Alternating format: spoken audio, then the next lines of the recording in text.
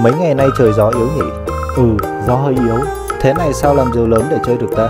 Phải chờ gió mạnh về cơ thì mới làm diều lớn được. Hay làm con diều bé bé thả chơi cho vui đi.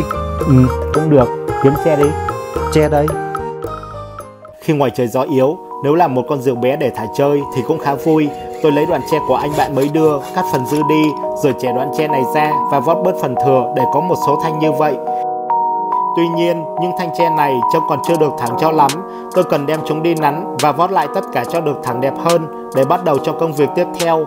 Ở đây, ta có một thanh dạng hình tròn với đường kính 5mm cùng chiều dài 55cm là một thanh cái cho diều. Tiếp theo là hai thanh tre dạng hình vuông với bề dày 5cm và chiều dài 1m. Tôi sẽ lấy một thanh rồi vẽ dấu lại ở giữa tâm của thanh này và từ dấu ở tâm ta sẽ đo qua hai bên cổ thanh 5cm rồi vót từ dấu vừa có được ở một nửa bên hướng ra phía ngoài sao cho nó được chuyển thành dạng tròn.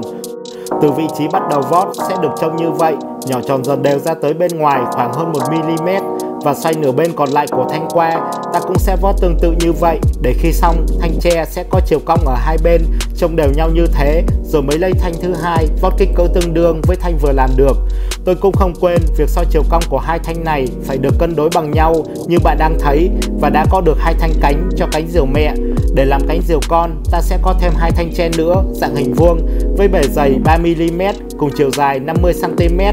Tôi sẽ lấy một thanh và vẽ dấu lại ở ngay giữa tâm, rồi từ dấu tâm này, ta vót ra phía ngoài ở một nửa bên, cho đến khi nó chuyển thành dạng tròn. Từ điểm giữa tâm ra tới phía bên ngoài khoảng 1mm và xoay nửa bên còn lại của thanh qua. Ta cũng vót tương tự như thế, để thanh có được chiều cong, ở hai bên đều bằng nhau. Rồi lấy thanh kế tiếp vót tương đương kích cỡ với thanh trước, và đã có được hai thanh với chiều cong cân đối bằng nhau.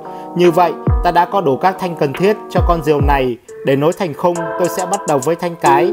Từ một đầu trên cổ thanh, ta đo xuống 2cm và lấy điểm giữa tâm của một thanh cánh mẹ đặt vào dấu vừa có ở thanh cái, sao cho nó tạo ra hình chữ thập và tại vị trí giao nhau của hai thanh tạo thành một góc vuông như thế rồi mới dùng dây buộc lại và nhỏ thêm keo cho chắc chắn Tiếp theo, ta đo từ điểm vừa buộc được xuống dưới 29cm trên thanh cái và lấy điểm giữa tâm của thanh cánh thứ hai xếp vào dấu vừa tạo được buộc cố định tại đó, tạo ra một khoảng rộng của hai thanh cân đối đều nhau và thanh sau sẽ được cùng chiều thẳng với thanh trước.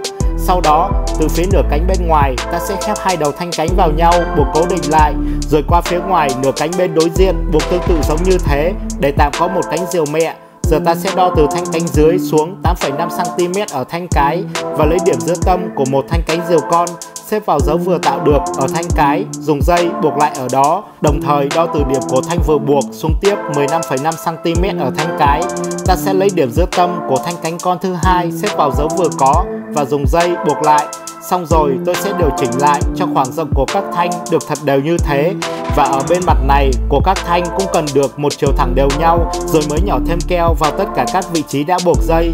Và từ phía bên ngoài của nửa bên cánh con, ta sẽ khép hai đầu thanh cánh vào nhau, buộc cố định chúng lại.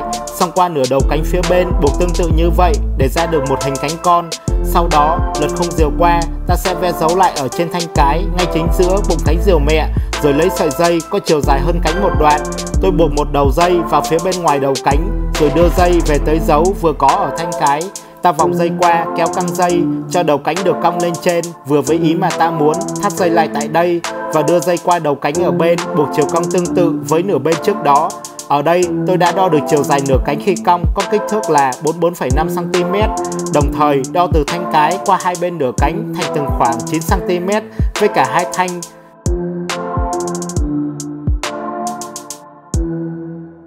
Dùng dây, tôi sẽ buộc qua các dấu đối xứng có ở hai bên của thanh, tạo thành một cánh diều trông như vậy. Tiếp theo, ta sẽ xuống phần cánh con và vẽ dấu lại ở thanh cái ngay giữa bụng của cánh này. Dùng sợi dây dài hơn cánh một đoạn, tôi sẽ buộc một đầu dây vào phía bên ngoài của một đầu cánh, rồi đưa dây tới dấu vừa có ở thanh cái ngay giữa bụng diều cánh con.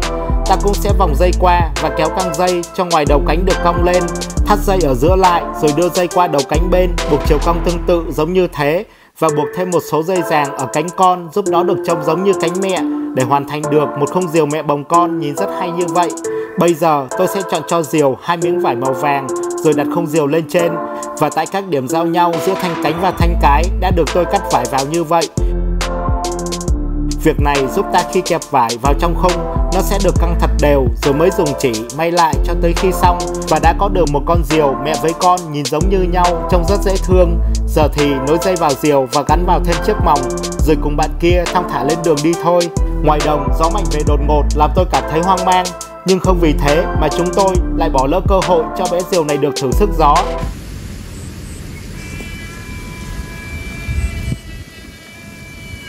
Bạn thấy, mặc dù gió rất mạnh, nhưng con diều lại không tỏ ra quá yếu đuối khi lao thẳng một mạch lên trên cao.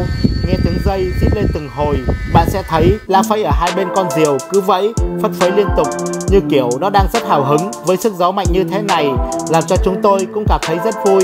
Cứ thế, bên đồng cỏ dưới ánh nắng chan hòa, tôi và bạn kia cùng nhau ngắm nhìn con diều nhỏ bé đang bay cao trong gió với một cảm giác rất thú vị.